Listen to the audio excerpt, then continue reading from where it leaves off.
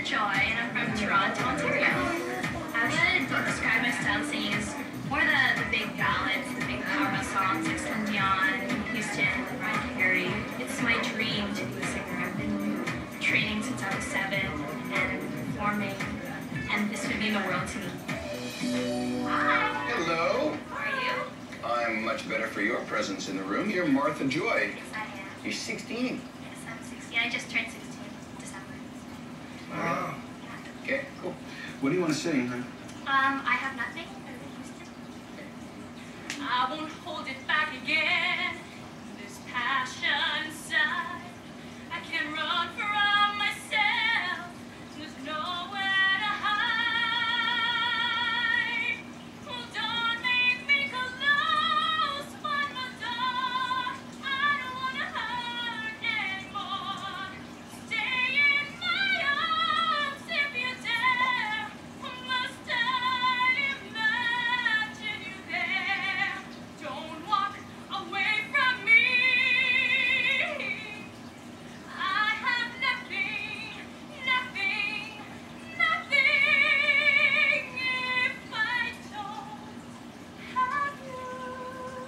Okay, Martha I Joy, I'm some gonna, ID, I- I'd like to please. see some ID too. I'm going to give you a, some, couple of really small words of advice, like it's R&B Diva 101. You do everything that all those people do. You need to come up with some stuff that's just you. Yeah, we have to find out what who Martha is. Martha's an unbelievable singer.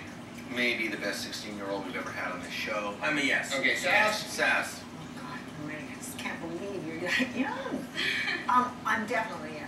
I think plausibly you could possibly be the next Canadian Idol. Pick up the ticket. We'll see you in Toronto. Yeah, you're really, You have a hell of a shot at winning the whole show.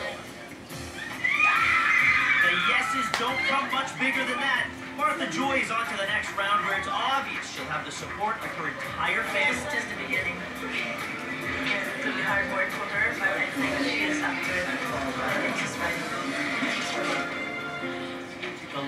Encouragement from a parent can help their child reach greatness.